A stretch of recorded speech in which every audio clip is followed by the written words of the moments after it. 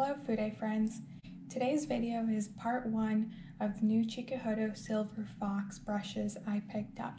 I did not purchase the entire set up front, only the brushes that interested me the most and were available at the time of purchase. There will be a part two once I place a second order with other brushes in the series. I'm happy with my decision to break up the orders as it allowed me to play with this new hair type first. I also like when companies allow you to purchase brushes individually versus an entire set. The two brushes I purchased are the FO-1 powder brush and the FO-2 foundation brush. These brushes have different handles that I had never seen from Chikuhodo before. They have this light colored exposed wood.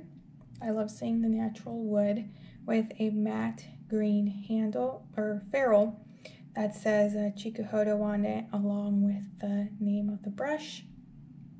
The handles have a slight indentation near the center of the handle which makes it easy to hold and the length is medium for a handle. It's very similar to the Z series in terms of length and weight. Overall, I find the handles to be quite elegant and aesthetically pleasing. The only con is that to elevate the appearance of these brushes, I think they could have used a slightly heavier handle because the brushes can feel a little top heavy, especially when you're holding them near that indenta indentation point. The hair, however, is absolutely stunning. It has this gradient from a light brown at the tip to a silver white at the bottom. So it's darker on the top, and as you get to the bottom, the hairs turn grayish white. I enjoy the gradient effect. I think it's also nice because dirty brushes will appear uh, less dirty as you use them due to the darker color at the top. I admire Chikuhodo for bringing something new to Fude Chikuhodo is the industry's first manufacturer of Fude to use silver fox hair in makeup brushes. Their website describes this hair as rare, with a softness comparable to gray squirrel but with the strength of goat. For the purposes of the softness survey, which will be linked below, if you have these brushes and are reviewing them, please compare them to squirrel brushes. For example, if you rank them a 3, that's saying that the it's it's the same softness as your average squirrel, Four would be above average, two below average, and so on. Quick reminder on the survey, it's intended as a resource for everybody, whether or not you're able to complete it. If you don't have any of the featured brushes, please leave it blank and submit the survey blank. This will take you straight to the end where you can see the results. The survey is an attempt to more quantitatively measure softness from everyone's shared experiences, and I would really appreciate your collective feedback if you have these brushes. Also, last note is that the survey will include all of the brushes in this series so we can keep them in one place and because there will likely be a part two video with more of these brushes from the series. Let's get into the details of the FO-1 powder brush.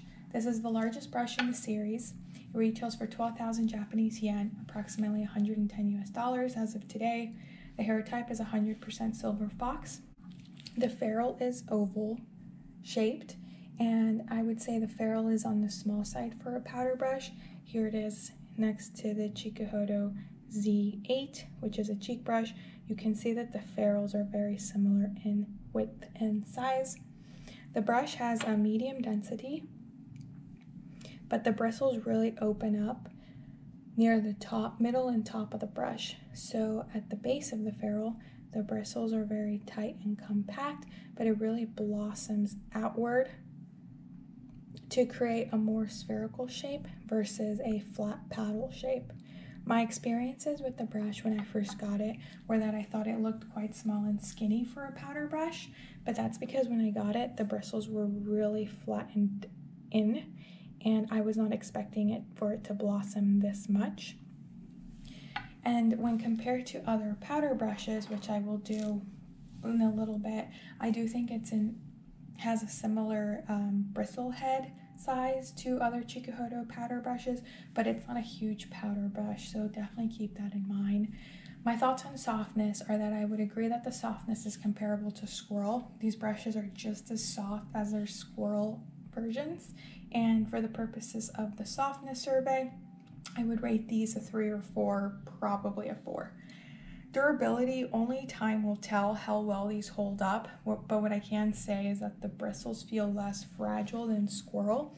The bristles feel less fine and less flexible, so they have a stiffness to them when compared to squirrel without sacrificing whatsoever on the softness. I would describe the durability between goat and squirrel probably closer to squirrel, and I would still encourage everyone to be gentle with these and keep in mind that they are rare and luxurious bristle hair. They feel more resilient. However, for me personally, I will not be using them with liquids or creams.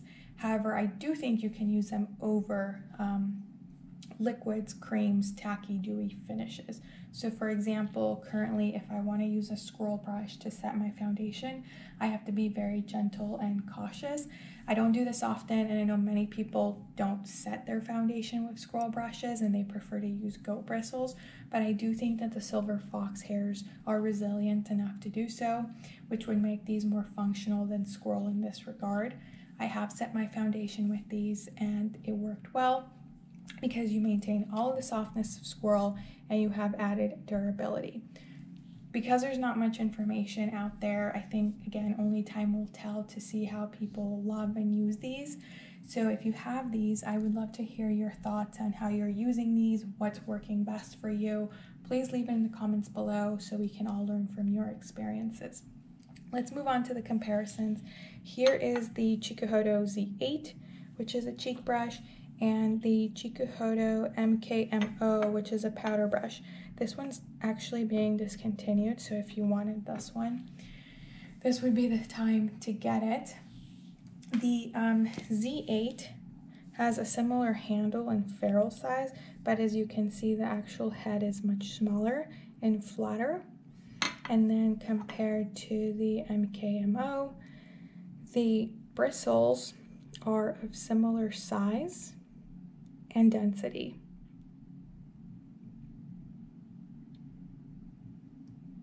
The hair on the powder, the hair length on the powder brush is 47 millimeters, whereas on the Silver Fox it's 45, so only a tad bit longer. And then I'll compare it to a slightly larger face brush, which is the Sonia G Face Pro. The colors of the hairs look similar because this one is dyed and undyed goat bristles, but they are different bristle types. And the Sonia G one is larger and has longer bristles. And then I took out the Fupa 14 mostly because it is one of the softest squirrel goat combination brushes I own. So I wanted to see how they compared in softness and indeed the silver fox is small um, softer and you can definitely feel that when you use it.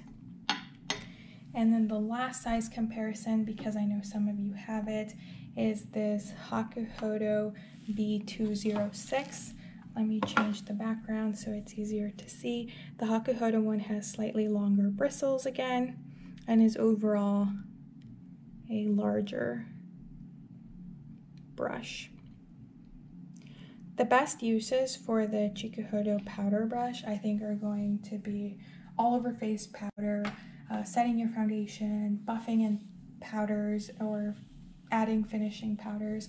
I think it'll work really well for finishing powders because it doesn't pick up too much product. So if you want a more sheer application, which I usually do with finishing powders, this is a perfect brush for that. Next, let's talk about the FO-2, which is described as a foundation brush. However, I would not recommend this brush for picking up cream or liquid products. I think you should think of it as a powder foundation brush only because I want to be careful in using the hairs and still being gentle with the brush. But that is a matter of preference, and if you do use it with creams and liquids, please let us know how that worked for you. This one retails for 10,000 Japanese yen, approximately $92. Again, you have 100% silver fox hair and the same handle. I believe they're the same length. They are. And the shape of this one is a flat top brush, has a completely round ferrule. The hairs are short and very densely packed. Best uses are going to be powder foundation, but it is a bit on the small side, so it might be best for more precise application of powder foundation in certain spots where you want added coverage. I have enjoyed it for targeted blending in a circular buffing motion. It's so, so soft. But my favorite uses so far have actually been Color Cheek products. Bronzer contour, um, it fits really nicely underneath the cheekbone and it diffuses things very quickly and uh, effectively did not leave any patchiness. So similarly, I also used it for blush. I grabbed a very pigmented blush, I dabbed it in the pan, and then dabbed it on my cheekbones and diffused it in an outward motion. And it worked very well, no patchiness, very fast, and very soft. I enjoyed it because it didn't pick up too much product and it diffused the product evenly and quickly. I will note that it performs closer to Squirrel in terms of application and how much pigment you're going to get. It's better for a more subtle, sheer, natural finish. You can absolutely build it up, but it will require going back into the product and um, building it up versus go where you could get a stronger application with one swipe. These are some size comparisons. Here is the Chikuhodo Z3, which is a contour brush. The length of the bristles on this one are 15 millimeters, whereas the Silver Fox one is 21 millimeters. So the hairs are longer, but more importantly, it's a much bigger brush in terms of surface area. I have used this for contour, and honestly, I prefer the Silver Fox one a little bit more as of right now.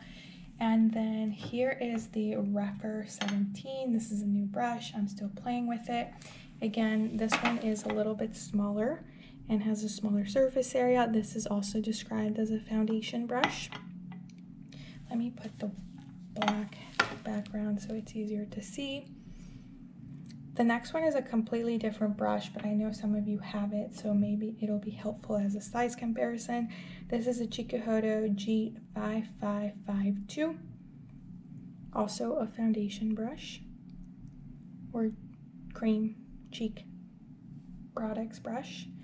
And then here is the Sonia G Face 1.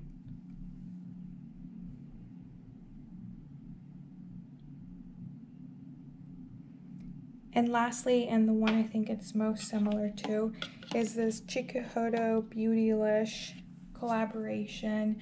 This brush is the same as the Takumi T3, and it's the closest in size to the Silver Fox. The bristles on this one measure 20 millimeters. The Silver Fox one measures 21. So very, very similar.